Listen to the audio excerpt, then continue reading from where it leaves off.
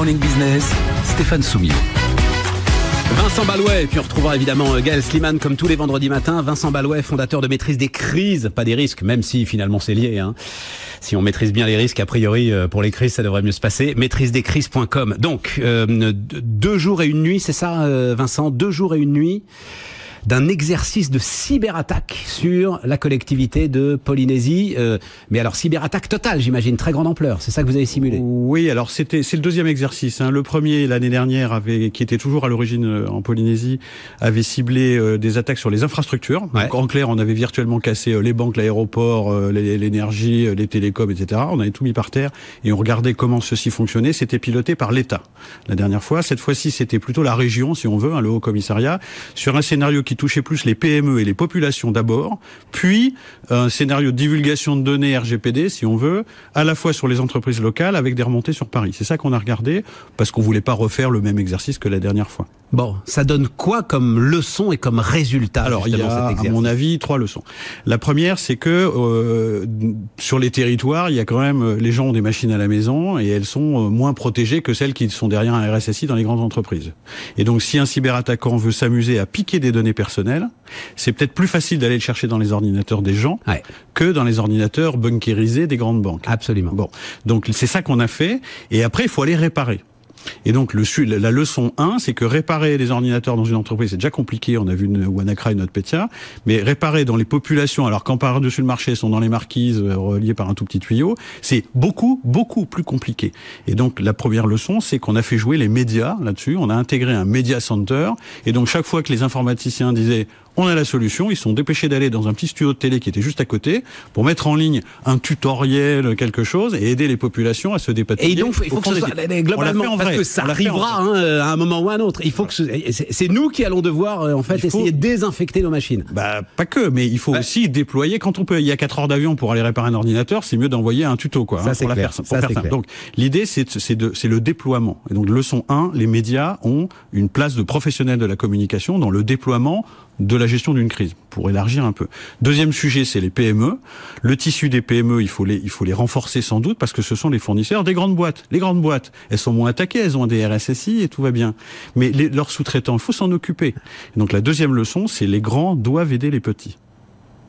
Et la troisième euh, leçon, si on veut, c'est que quand il y a une contamination euh, sur euh, des grands territoires, donc nous on l'a fait avec des remontées sur Paris, on avait 183 personnes connectées hier soir depuis Paris, depuis les sièges parisiens, pour voir comment ça se passait.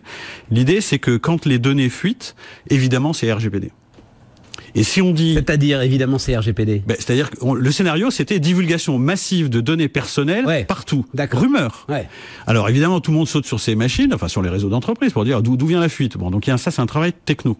Mais derrière, il y a évidemment un sujet confiance client. C'est le sujet. Et le sujet, c'est le régulateur. La CNIL, s'il y a une rumeur de fuite majeure de données personnelles, la CNIL sort du bois et va dire DPO, mettez-vous au travail. où est-ce qu'on en est? Et le vrai sujet, c'est que comme, comme l'installation du RGPD est arrivée assez tardivement, on voit bien que c'est assez largement dans le tuyau et en Polynésie et chez nous. Si on est confronté à ne serait-ce que des rumeurs de divulgation très importantes, on l'a vu avec British Airways il y a peu de temps, hein, où ils sont retrouvés avec des, des données de partout. Euh, voilà, il faut gérer la confiance client.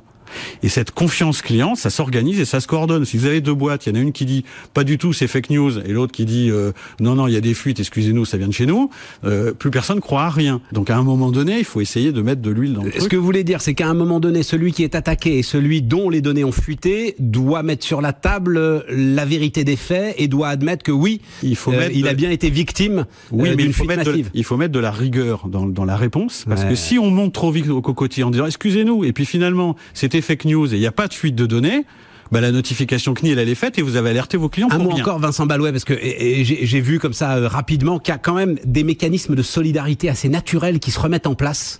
Alors quand c'est euh, très grave, oui. Face à voilà, c'est face à ce genre de tag et voilà, on a quand même le réflexe assez rassurant d'ouvrir la porte et d'aller voir si son voisin. Euh, ouais, enfin, il faut bousculer, il faut casser, il faut défoncer un peu la porte. Hein, mais mais euh, c'est pas c'est pas si nos illusions s'envolent. Non, pas toutes. Il en reste juste. Les dernières sont là, mais celles d'avant non.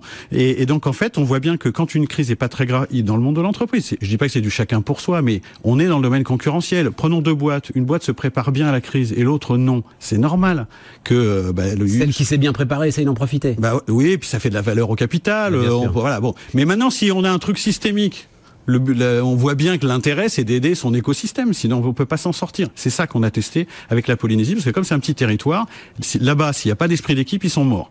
Et ils nous ont donné une excellente leçon d'esprit d'équipe économique. Un mot, il faut que d'autres régions, hein, mais vraiment un mot, il faut que d'autres régions testent la même chose. Bah oui. Indispensable. Pour l'instant, ils le font pas, mais Alors, pas que sur les sujets cyber, il y a le sujet climat qui est encore plus important. Oui, mais restons sur le sujet cyber, c'est ça. Les, les, crises climatiques, ça peut arriver aussi euh, sur les entreprises. Hein, donc, euh, oui, bien sûr, il faut, il faut, faut, faut commencer à s'exercer, sinon on va pas y arriver, c'est clair. Vincent Balouet, donc fondateur de maîtrise des crises.com.